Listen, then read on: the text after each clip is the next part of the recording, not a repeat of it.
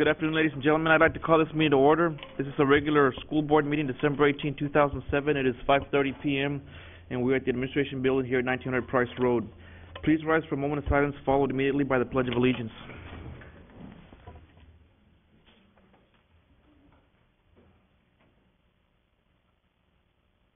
Flag. Can I say a few words? Mr. Powers? Thank you. I want to send our condolences out to a real good friend of mine who was a classmate of mine at UTSA, uh, Manny Del Castillo, the dentist. To his family, we offer condolences to him and his family. We wish him anything but the best, so we pray for them. Thank you. Thank you, Mr. Powers. Face the flag. I pledge allegiance To the flag of the United States of America and to the republic for which it stands, one nation, under God, indivisible, with liberty and justice for all. Honor the flag. I pledge allegiance to thee, Texas, one nation under God, one and indivisible. Thank you. We were doing so well with the Texas flag. Notice, Mr. Es- Dr. Escobedo, everything was so quiet. Everything was very quiet. Nobody wanted More to. energy left, I think they're all looking for Christmas, right? Everyone's already trying to on, on Christmas mode.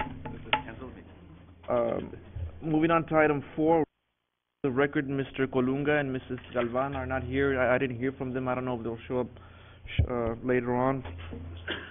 item five, recommend approving the agenda of the regular school board meeting of December 18, 2007, with any corrections or deletions. Mr. Gonzalez. Thank you, Dr. Escobedo, members of the board. We do have a couple of, uh, corrections. Uh, under general function A, item number nine, page one forty-nine A is to be added. Page forty-nine A on item number nine. You, and you have it there with you. And then also, under, uh, general function bids, proposals, and pur- purchases, item number twenty-one, page one forty-six A will be, will replace page one forty-six. So one forty-six is being replaced by one forty-six A. And under closed me- meeting personnel matters, item number twenty-four, pages one sixty-one, one sixty-two, and one sixty-three will be pulled from the agenda back up. One sixty-one, one sixty-two, and one sixty-three. Do I have a motion to uh, approve the consent agenda? I have a motion by Mr. Powers, seconded by Mr. Cortez. All in favor, raise your right hand. The motion passes unanimously. Moving on to item six, recommend approving the minutes of the regular board meeting of December 4, 2007, with any corrections. I will open the floor for any corrections on the minutes. If not, do I have a motion to approve the minutes as read? I, um, I move to approve. Is there a second? Second. Seconded by Mr. Cortez. All in favor, raise your right hand. Aye. All, all all opposed? No, I'm gonna abstain 'cause at that day I was in the hospital. Okay, uh, motion passes with everyone but Mr. Powers abstaining. Moving on to item seven, Superintendent's Report A, Conference Presentation One, presentation of Senate Bill nine, fingerprinting procedures for non-certified employees, Mr. Gonzalez. Thank you, Dr. Escobedo, members of the board. We're going to do a little presentation on, and you have a lot of the backup already, on what Senate Bill 9 is. It's, it's requiring that non-certified employees be fingerprinted starting January 1st, before they're employed. There's a cost to it, and it's a requirement of law, and uh, I'll have uh, Ms. Fox, Assistant Superintendent for HR, to give a brief presentation. Ms. Fox? Thank you, Mr. Gonzalez, Dr. Escobedo, members of the board. As Mr. Gonzalez, uh, said, the Senate Bill nine becomes effective January first, two thousand eight. We have begun the process of developing procedures and timelines for getting that done. All staff members will have gone through some type of criminal record check, name-based check, fingerprinting, et cetera, by September eleventh of two thousand eleven. But we begin the process with fingerprinting procedures for non-certified employees that we hire beginning January first. Those non-certified employees are both classified and certified types of employees. Just as an example, with Mr. Sanchez's departure as CFO, we will be posting and advertising and ultimately hiring a CFO. That position does not require a certificate by TEA or the State Board of Education. Therefore, that person is that position is considered a non-certified employee, even though in the eyes of BISD, he is a certified employee. So we're looking initially to start with non-certified plo- employees, those are those employees hired after January first whose job position does not require a certificate from TEA. So, just as an example, those are, that's the first group of people we will be, um, working with in fingerprinting. If you look on page fifteen and sixteen, we have a brief summary of, of the process that we're going to use initially for those non-certified employees that are hired after January first. As Mr. Gonzalez said, there's a cost of, it initially started at fifty-seven dollars per employee. The state is now reduced that price to fifty-two dollars per employee, and the employee is responsible for paying that fee. They must, uh, go through the process, as you see on page fifteen, they must, uh, get a fingerprint pass form, pay their fees, and go down to the, uh, local vendor who has been contracted by DPS to perform those fingerprinting, uh, procedures. That is, the, the vendor in Brownsville is Lindale Pharmacy down here on Paredes Line Road. They, uh, were part of the contract that DPS issued. So the process is all, takes place online. The employee or the, the person seeking employment must pay online with a credit card. Either the district can pay with the credit card from the district's credit card or the individual employee, but the responsibility for paying is the, the person seeking employment. If you look on page sixteen, we also listed a couple of other groupings that we're going to be working with contractors, those people who are working directly with students, and in most cases, that's in the special education program. Our substitutes, volunteers, the, ultimately the currently certified employees by two thousand eleven, and then the current non-certified employees. Also on page seventeen and eighteen, we've provided you just with a checklist that was provided to us by TEA, kind of a brief and quick overview of who will be getting what. Some will require actual fingerprinting, others will, current employees will require name-based checks and other criminal record checks. So, we, as we begin this process, we're going to take category by category of employees to ultimately, by two thousand eleven, have all eight thousand employees. In addition to that, substitutes, volunteers, student teachers, and other contractors that work with the district. It's a massive project, but the, it's required by law. Our biggest issue, I think, at this point, is going to be the time factor that it will take when an employee first applies for a job. We do the criminal record check, we do all the things that we do normally now, and then in addition to that, the, the prospective employee must pay the fee, and then we wait for the results before that person can ever be put on to work. Hopefully, it's not gonna delay the process of getting people on the job, but waiting for the results of the fingerprinting, et cetera, is of utmost importance to us, not to put the wrong person in a sensitive position as teaching or employed for the district. So, we're looking to begin this just immediately, January seventh, as we return from the holidays. With that, uh, if anyone has any questions, both Ms. Gavito and Ms. Cuellar are here, and they've been working diligently on the actual process of doing it. Questions or comments from the board? Mr. Cortez? I have, I got a couple questions. On the page sixteen where it talks about contractors, uh, in the upcoming year, we're gonna start putting out for bid some of the, the new, uh, school construction.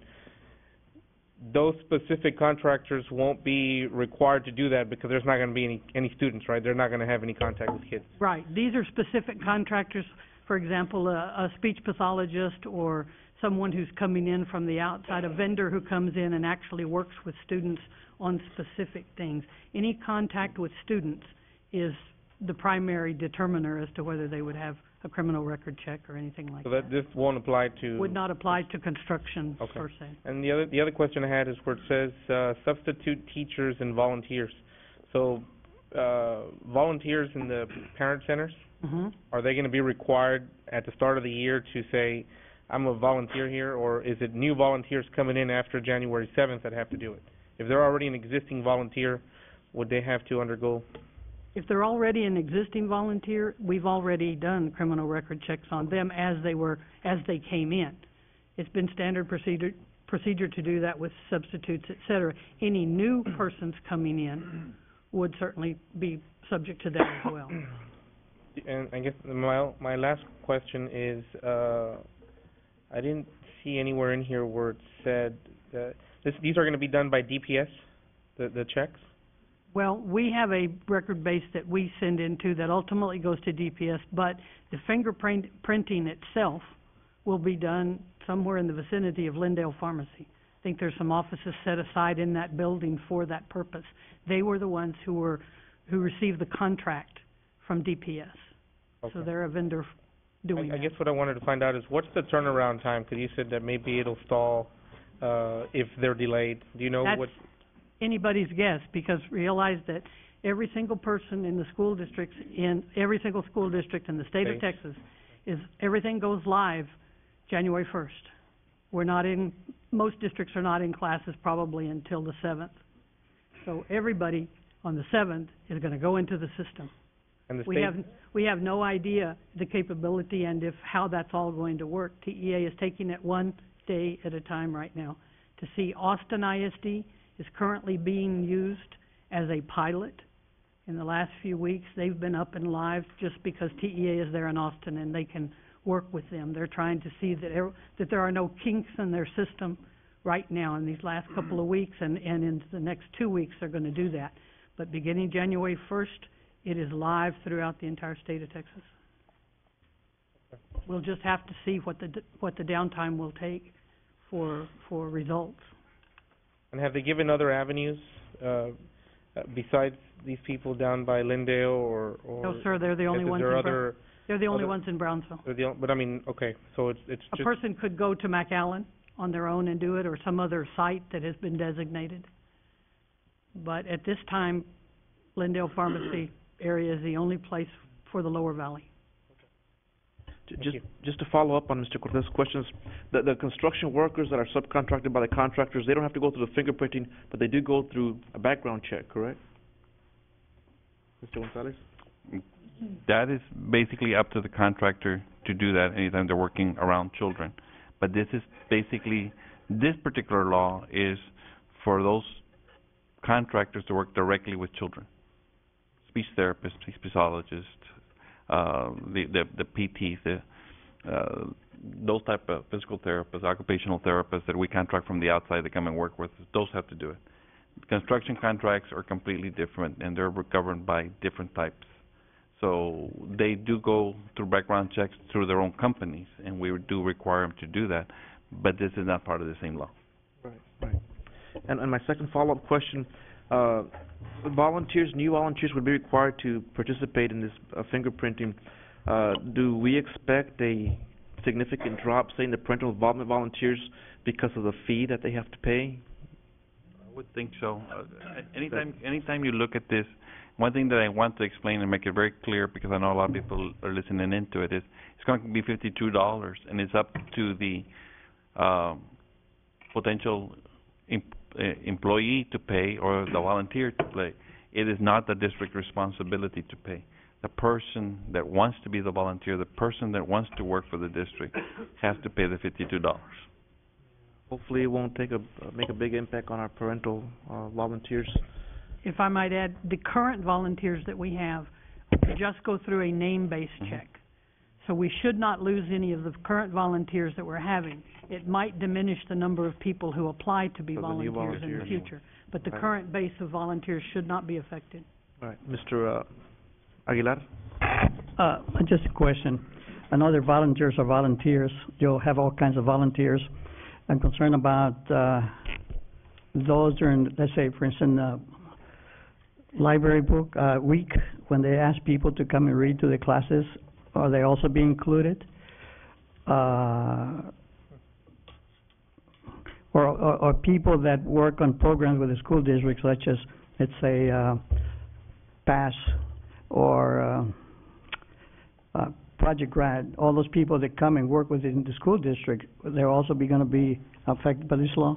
Yes, sir, those last group that you mentioned, because they would fall under the contractor Mhm. section. Can, it, on page eighteen, the very last item that's there lists campus visitors, and those would be more like what you're talking about, reading during library week or something like, those would be once in a while, one time, twice, two times a year, that the campus has individual policies for that, where they come in to visit and check in in the office and that sort of thing.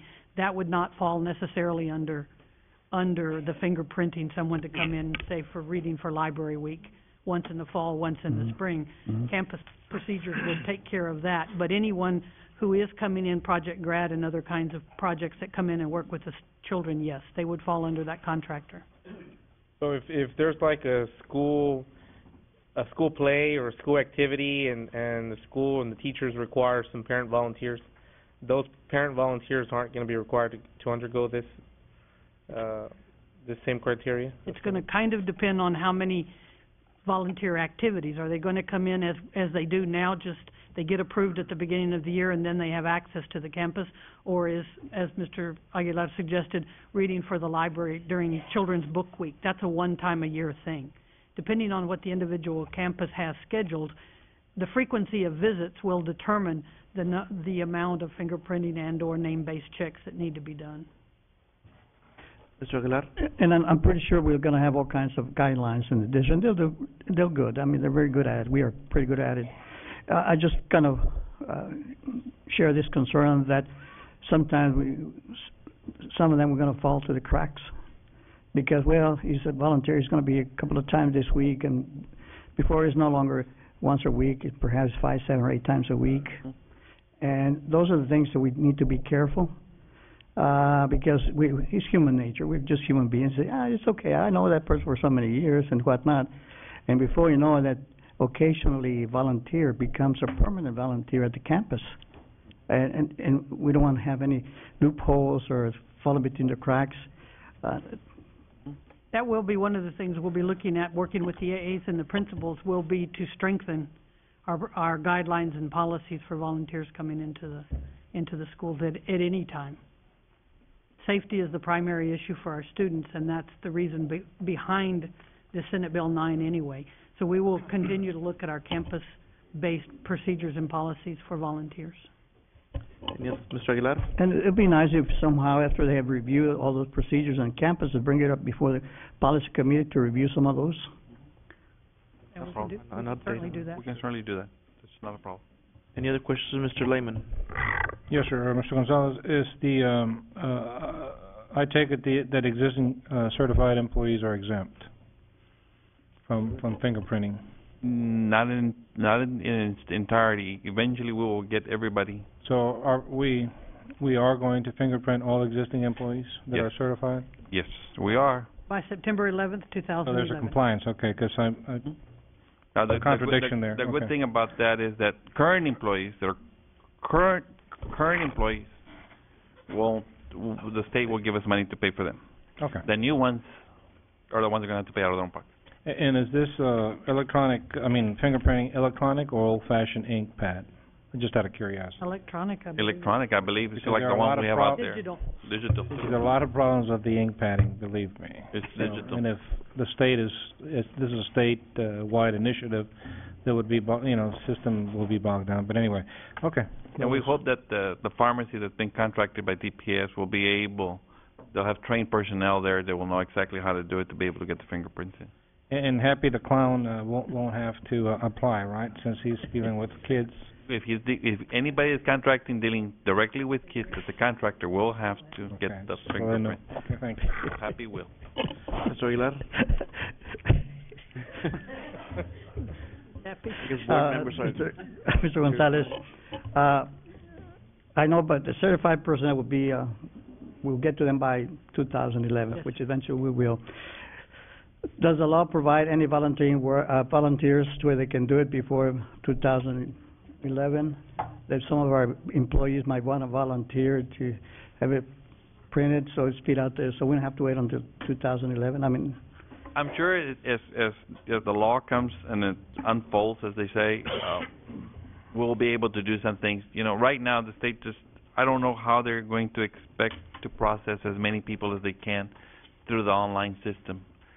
I, I'm sure they'll set out a program once they, they, they come by and see the first six months of operation and see how this is going to be working. It's gonna be heavy use because everybody has to go do it. So once we start getting, ro- I'm sure some guidelines will come out and we'll get a little bit more direction from the state.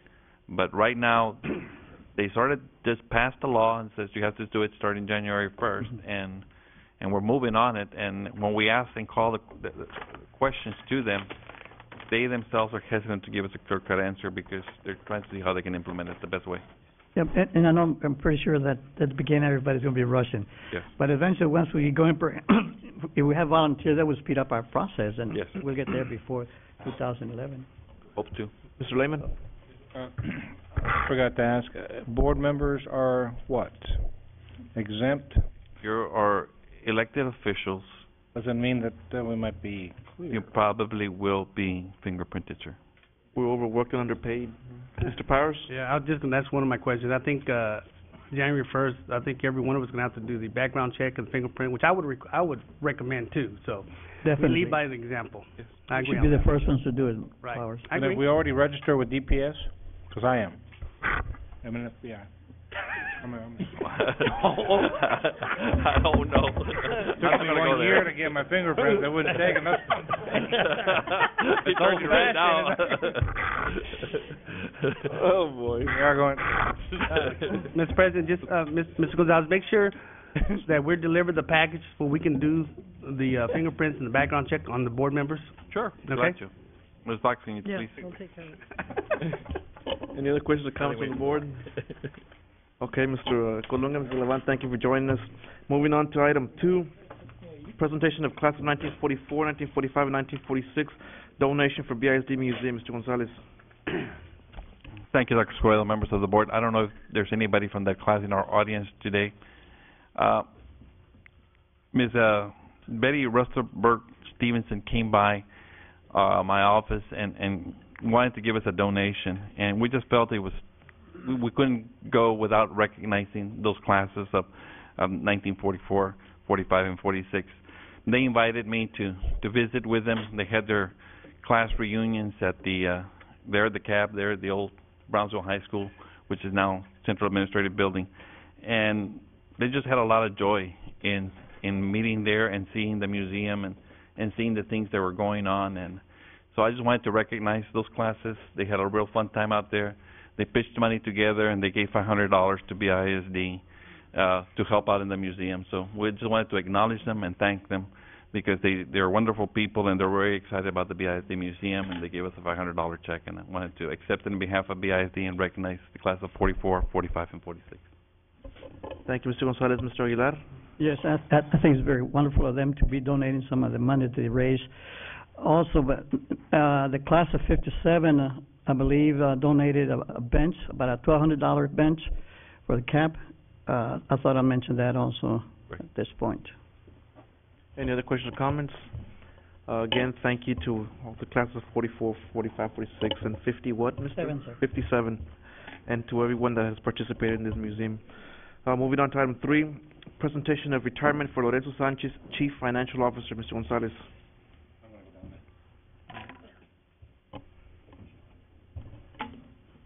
Yeah.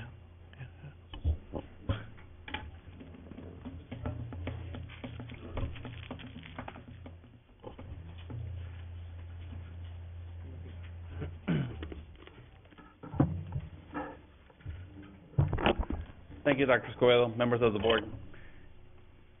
You know, I've known Mr. Sanchez for quite a few years, and and uh, it's rare that we get an opportunity to recognize the accomplishments of a longtime educator. Uh, you know, we, we we look around and say, how long has Mr. Sanchez been around? For a long time. Forty-three years in education that's a wonderful accomplishment itself.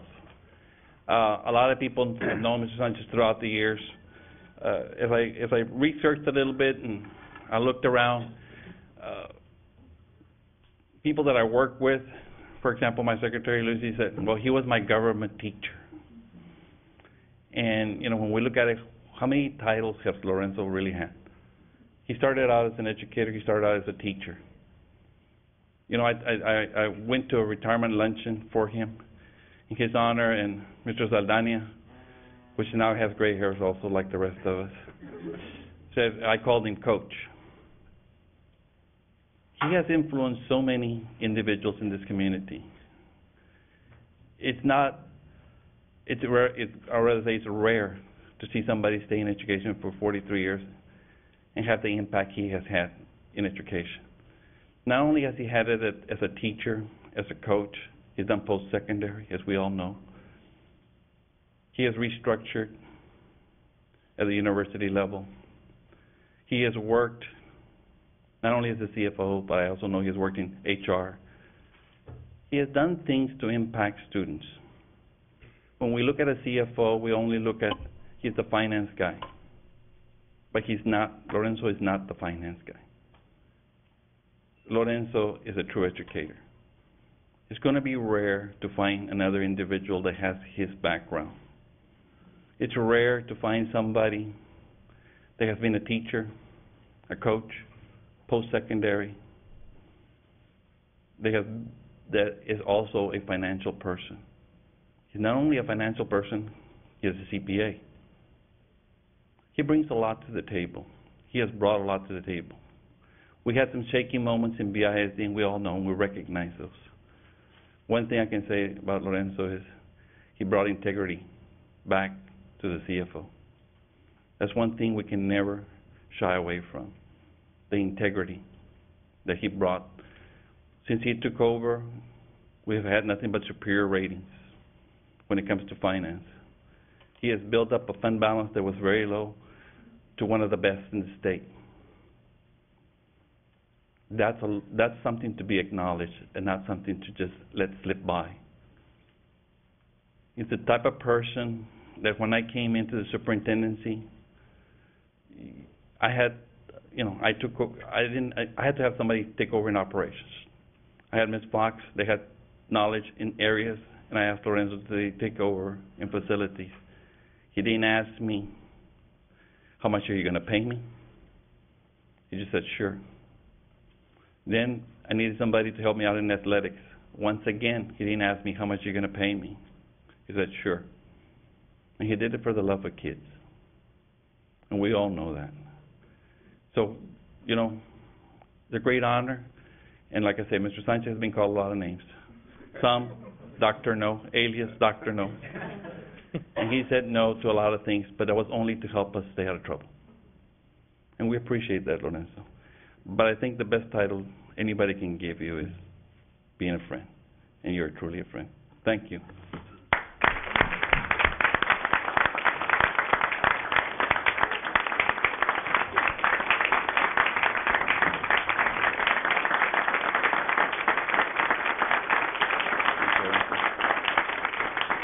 I just want to read a little bit, the Brownsville Independent School District Board of Trustees and Administration gratefully acknowledge the multitude of contributions made by Lorenzo Sanchez during his tenure as Chief Financial Officer, 2003 to 2007. Thank you, Lorenzo.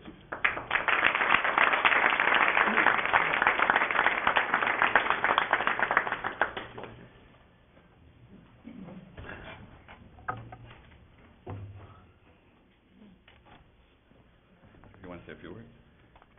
I'm sure you want to say a few words.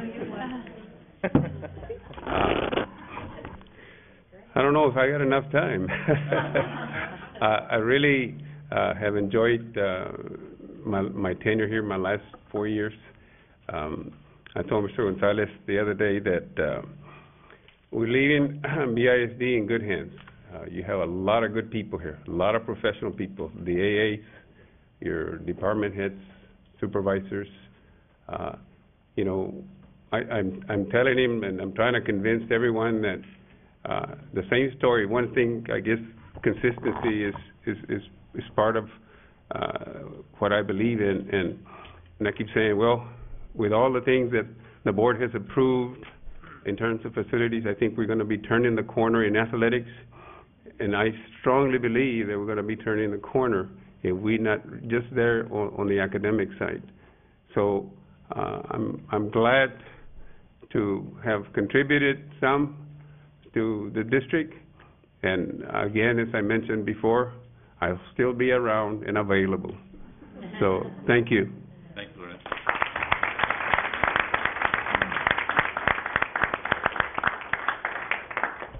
Thank you, Mr. uh, Gonzalez and Mr. Sanchez. Congratulations on your retirement and on lasting so long in the educational field. Forty-three years is a little above average, I think. Uh, Congratulations.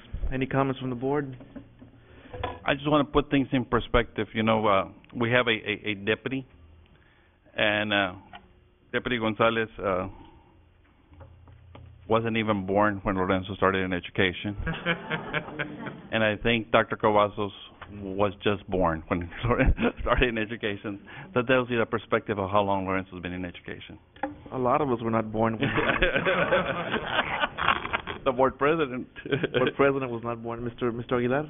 I was gonna say the television's old, man. Oh, okay. Well, we're not telling him anything he doesn't the already know, right? education. Okay, moving on to item four, presentation of the Brownsville Independent School District Financial Report for the period ended October thirty-first, two thousand seven. Mr. Gonzalez. Thank you. Uh, um, the report is there for- and available to you. And of course, Mr. Sanchez has not retired officially yet, so he's here to answer any questions you might have. Questions or comments from the board? If not, we move on to item five, presentation of credit hours for Board of Trustees. Mr. Gonzalez. Thank you, Dr. Escobedo. I believe that uh, every year, as required by law, we must report the number of hours that you received in training, and it's up to the board president to to read those hours. Uh, do we have those? And let me tell you just a little brief explanation. In case your hours are not all there, these are according to TASB.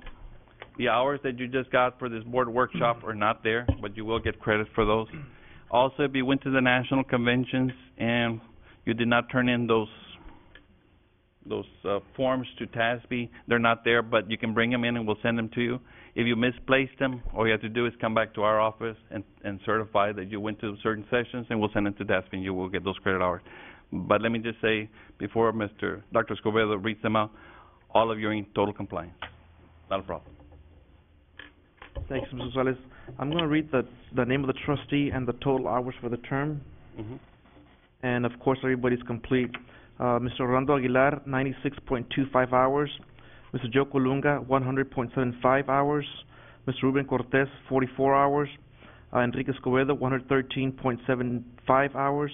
Mrs. Susan, Galvan, eighty-seven point two five hours. Mr. Pat Lehman, two hundred fifty point two five hours. Wow. Uh, Herman Otis Powers, one hundred thirty-three hours, and everyone is complete. Uh, just like, uh, thank you, Dr. Squale. Just like, uh, Mr. Gonzalez said that this, uh, some of them do not, have not been reported, and uh, just looking at my uh, hours, in fact, I checked to the, uh, internet also. The two conferences in San Antonio in June and July are not recorded here in my, uh, Mhm. my records, that's a total of ten hours. And the reason we're gonna correct, and Lucy's already working on it, is because we have travel. Mhm. And there's days where we we go out of town and they don't show up in the conference. Perhaps we might give an indication, well, you're going to a conference and you didn't attend those sessions.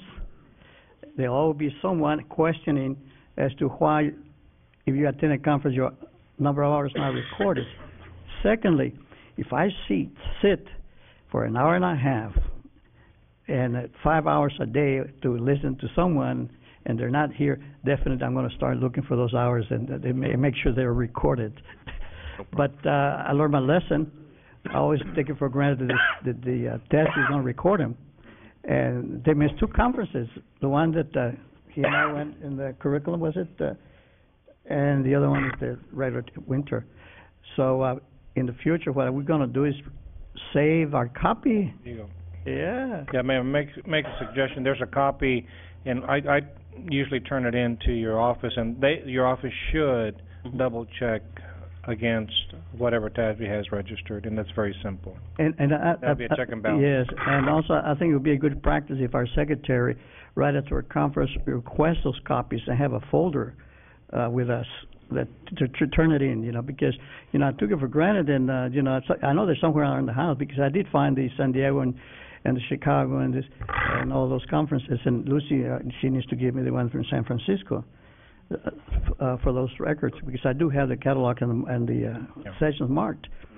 But, uh, I, I think it would, uh, be a good price also if our secretary would, right after a conference we attend, that request that copy that Mr. Lehman is, yes, there's a pink copy, the- or yellow copy. It's a, yes, yellow copy. And, and the nationals, uh, you have to request, uh, one's not given to you, you have to request it, so, and I think we should have one, I think we have one on file.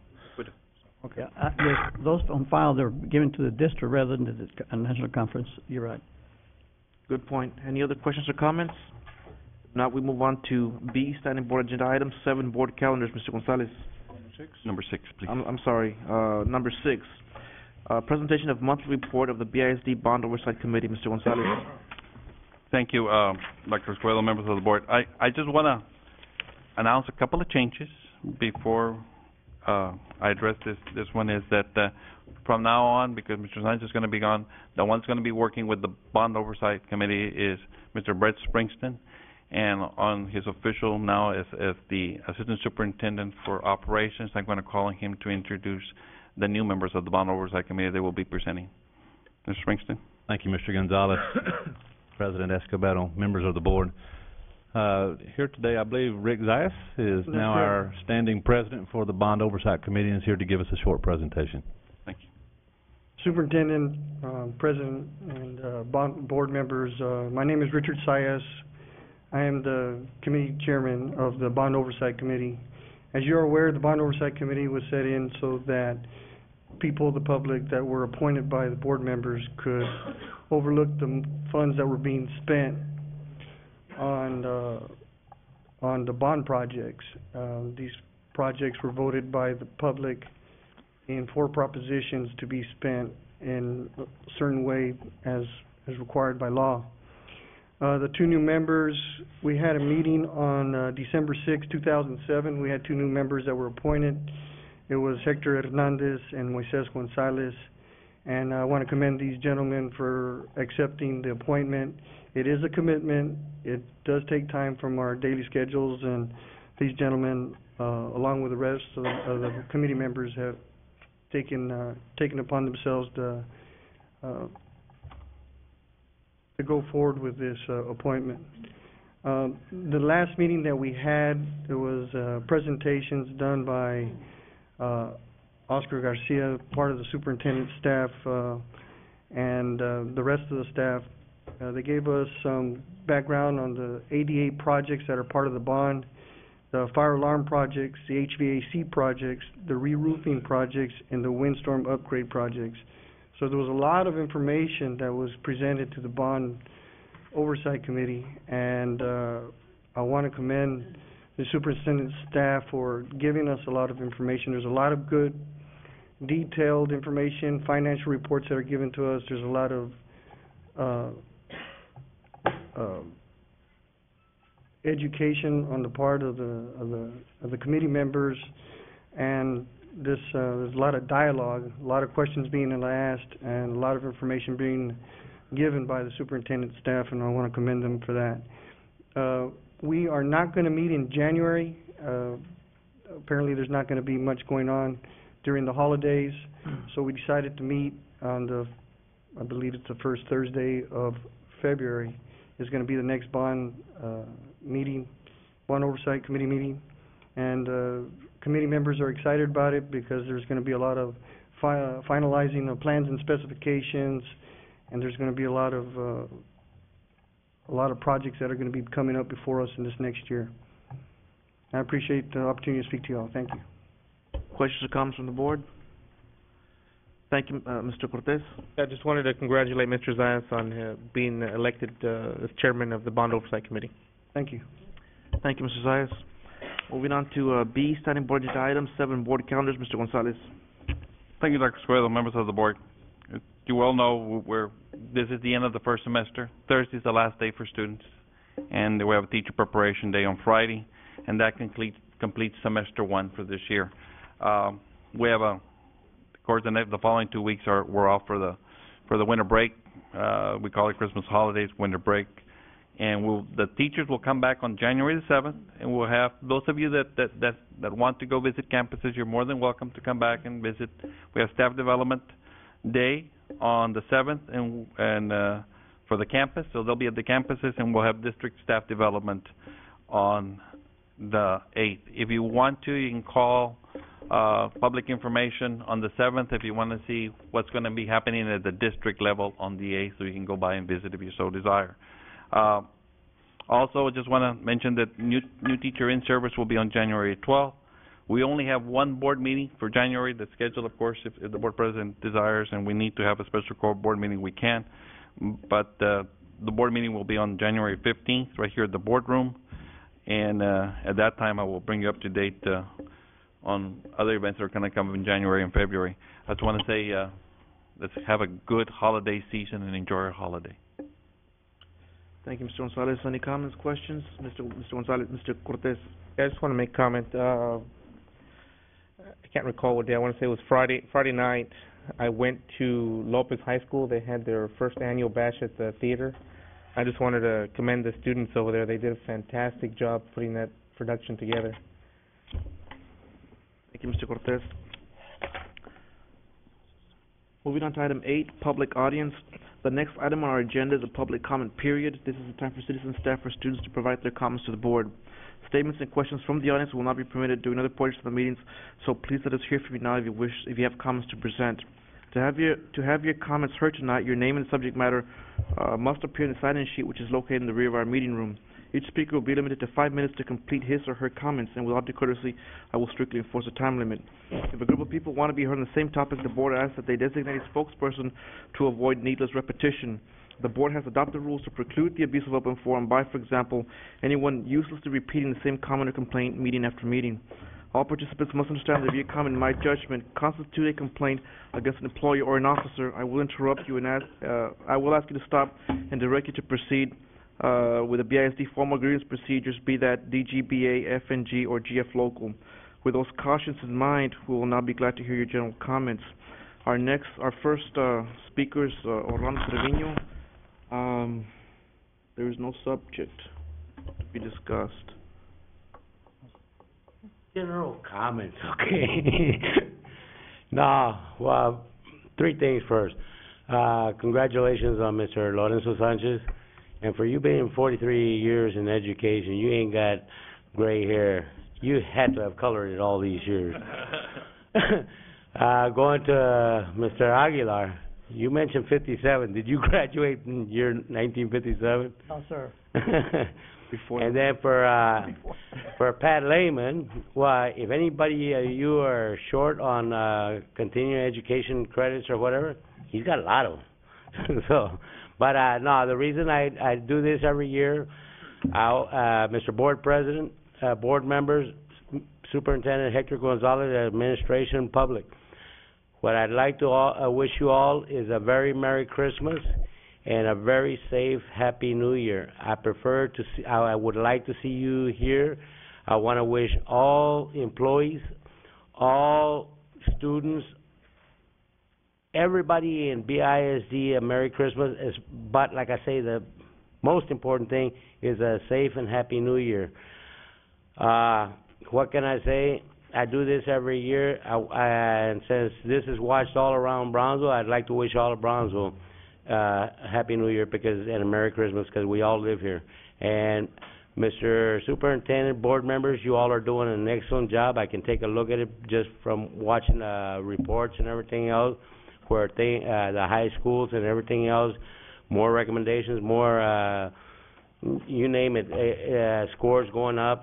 So I congratulate you all and your, the administration, principals, teachers, everybody, from bus drivers to everybody, because this is a team effort.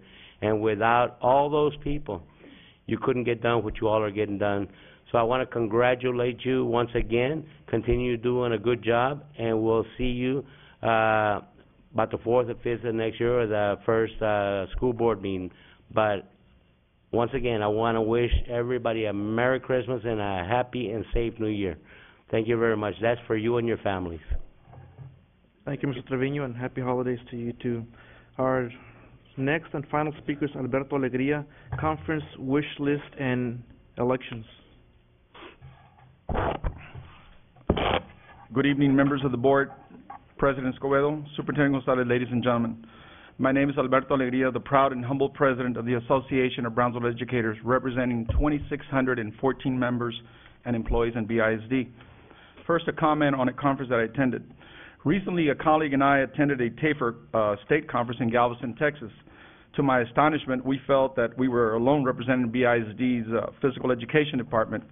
A conference of this caliber is intended for kinesiology teachers to acquire knowledge of the latest games, activities, and strategies, especially now that we have to implement core subjects, uh, strategies into our physical education curriculum to best prepare our students, not only physically as well as mental.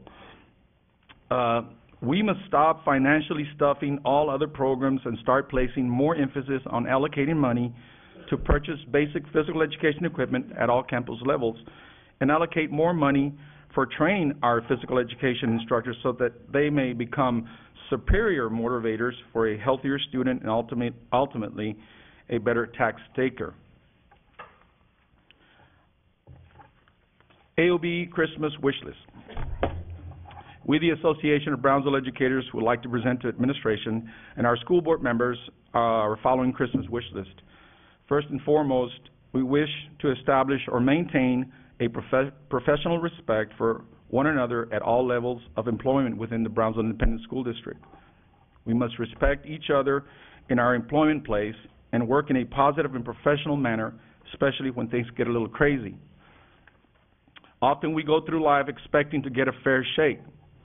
All there is to be said is we must all be treated on a level playing field when it comes to hiring, firing, promotion, demotion, and grievances because it is the proper thing to do and school policy confirms that assurance.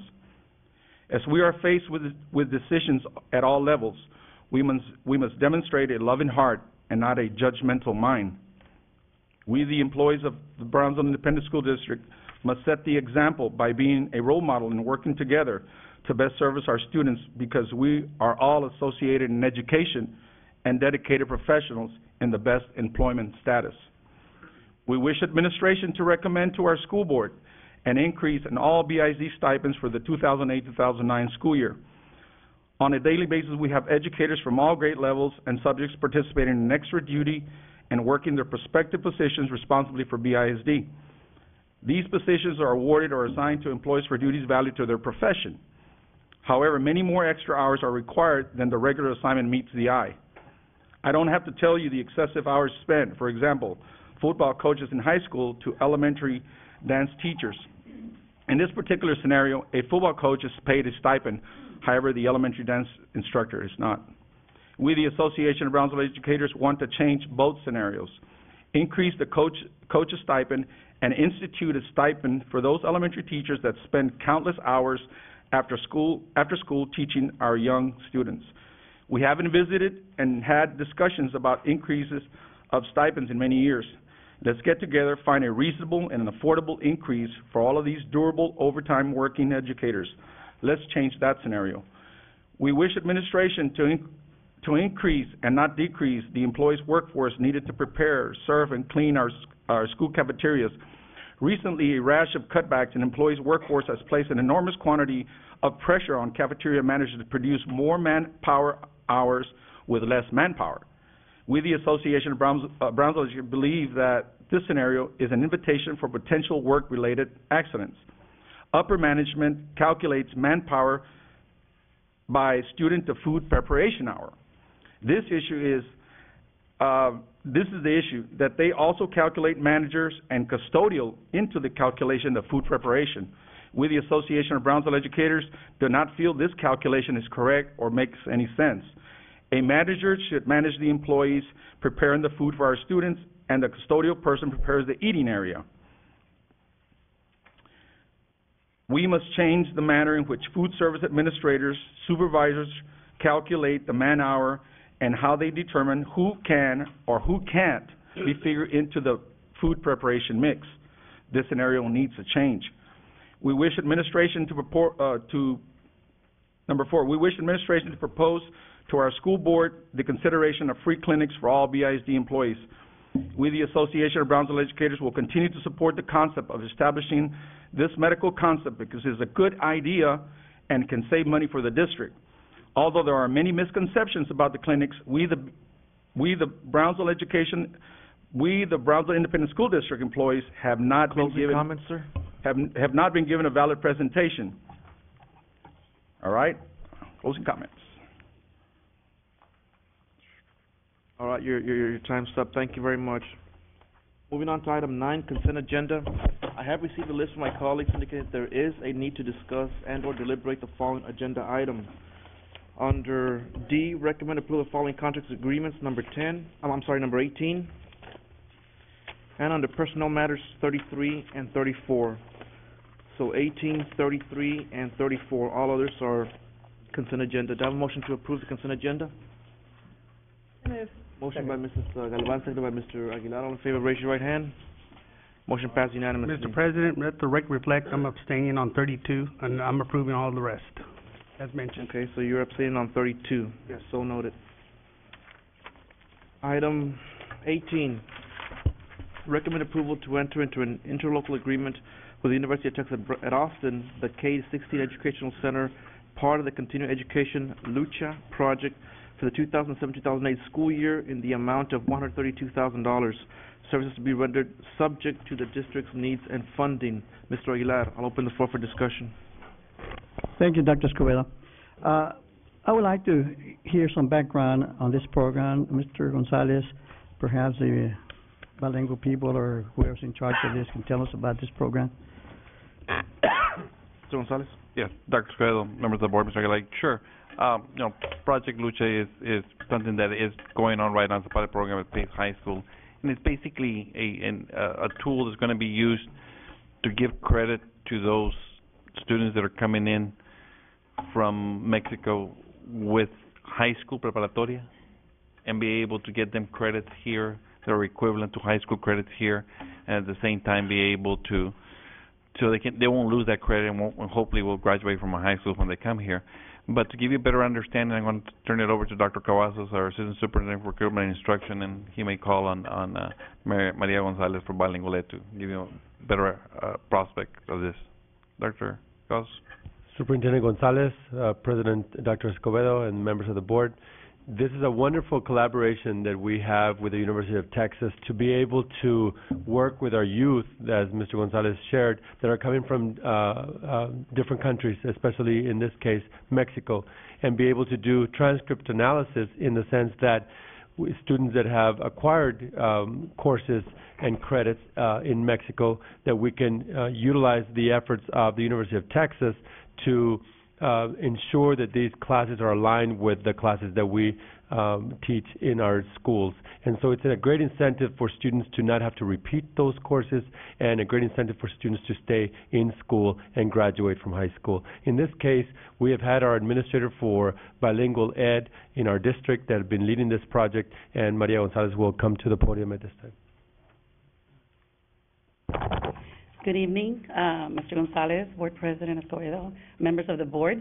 My voice is a little bit off due to some laryngitis, but this is a very exciting project whose goal really is to increase the graduation rate. And what it'll do, it'll provide, as mentioned, transcript analysis of the students that are recent immigrants that have coursework completed from Mexico. UT in Austin has an initiative where they've already made connections through the Department of Education in Mexico and have in a, in a way accredited uh, institutions in Mexico that provide courses that are aligned to our Texas Essential Knowledge and Skills. They've done the legwork and have identified those courses that qualify for awarding of credits towards graduation. And what we've done in uh, researching this project, uh, we have a representative from UTA, uh, Ana Cruz, who is here, who provides technical support for the project. The project has been in place since last year in the Valley in places like Edcouch, PSJA, and Donna. This year, another 10 districts joined, Austin, Dallas, Houston, Alive, numerous. because they can see the benefit of awarding credits to the kids that come by analyzing their coursework. This frees up their schedule, since they have these credits awarded, frees up their schedule to develop then their English language. Okay? So that's the intent of the project, to analyze their credit, award them credit that counts towards graduation, and free up their schedule to develop more of their English language development. Mr. Aguilar? Um, who has been analyzing the uh, credits in the past, Mrs. Gonzalez? In our district, to date, uh, students come and, uh, our attendance office looks at the report cards, whatever they bring with them, and then, uh, recommends placement, but at the campus level, that's where placement is, uh, is determined, whether it be middle school, high school, so forth. Historically, have we ever misplaced anyone? Mm, misplaced, no. Most of the students do function at the grade levels that they are assigned. They work through the text and so forth. Yeah. But this will accelerate that placement. And again, the courses that uh, they're going to offer, what kind of courses are they going to offer be- besides Spanish? Uh, the courses that they offer are all the courses, things like algebra, geometry, algebra two, biology, chemistry, physics, all courses that count towards graduation. And will they be taught in English or Spanish language, ma'am? Uh, what happens, they analyze a transcript based on what they bring from Mexico. All the courses that they come with will be analyzed, and they will be awarded credit in all the coursework that they bring with them in the core areas. English will not be one of the courses that they'll get credit for because we want to develop that language here in Brownsville. But then when they come here, what we are also trying out, apart from the transcript analysis that will occur at all five high schools, and we've identified this past year 250 recent immigrants who will have their transcript analyzed and will get uh, credit awarded for this knowledge that they bring. Dr. Felipe Alanis is the dean of this institution that has uh, that is at the forefront of this. He used to be commissioner of education for TEA. He his favorite quote is knowledge has no language. Once you know algebra, you know algebra. What you need then is the language development, uh, the English, okay? But a warning of credit has already occurred.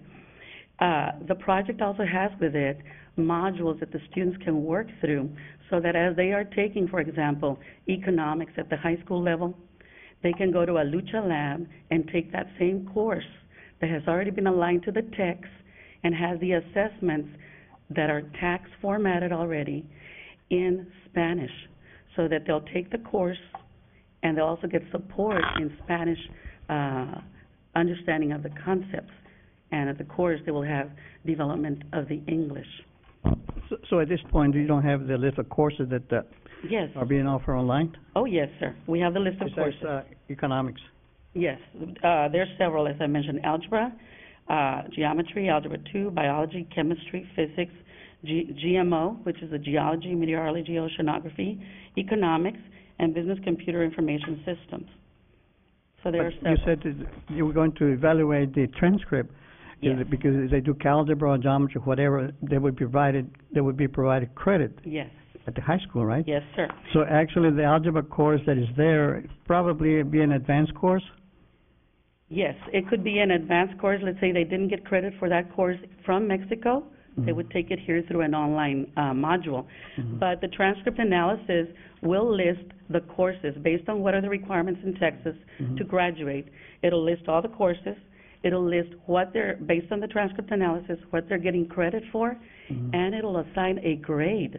Since the courses have all been uh, aligned to the TEKS, Mhm. it'll assign a grade for those students, and it'll list for them a personal graduation plan as to what courses they are missing. And those missing courses are the ones that they would take in our high school and get support through online modules in Spanish for continuing concept development. Your experience, can you tell us how many students are we talking about? Well, we've identified 250 students that are recent immigrants within the past two years that we're going to take through this process of the transcript analysis, see how many credits they gather, and then see how that frees up their schedule to develop more English language development and prepare for the TAKS. So we're looking at about 250 students across the five high schools. So those two hundred and fifty students, you might have already have a transcript, do you? Oh, mo- that's what our intent is, that once with your approval, we will talk to the students, they'll bring their transcripts, they'll be analyzed by UT Austin, assign credits, and then we'll look at, uh, the following steps, but, Because what they're doing here is charging you hundred and forty dollars for a transcript. And I, I thought we already had very good relationship with Mexico and, uh, with, through the Council Mexicano, and then we go to a conference in Mexico City, and they always say there's no problem getting a kid's transcript. And now I see this, and uh, it makes me wonder, all this year being working with our relationship with Mexico, and then said, yeah. uh, this is gonna work better. What this has done, Mr. Aguilar, is in a sense done the legwork in, in identifying the institutions in Mexico, because as you know, they have a lot of different levels of institutions, everything from private, public, and so forth. And what they have done through UT Austin, they've collected through the U.S. Department of Ed in Mexico, they've collected the courses, syllabuses, what is it really that they're delivering as far as instruction, and compared that rigor to our TEKS, so that if we are going to award credit for that course, that rigor is there, that it aligns to our TEKS and will help our kids, uh, that it is a valid credit towards graduation. So right now, for us as an entity, BISD, to uh, take on that task would be monumental. Uh, we do look definitely at the student, what they bring with them, the report card and so forth, but these, uh, this collaborative that, that has been set up through UT Austin has done a lot of that legwork in making sure that the coursework that the kids are bringing does align to our Texas Essential Knowledge and Skills, and we can award credit towards graduation. Any other ques- any other questions or comments? Thank you, Dr. Cavazos. Thank you, Mrs. Gonzalez. All in favor, do I have a motion to approve item eighteen? I have a motion by Mrs. Galvan, seconded by Mr. Powers. All in favor, raise your right hand. Aye. Motion passes unanimously. Moving on to item ten, closed meeting. As pursuant to Texas Government Code Section five five one point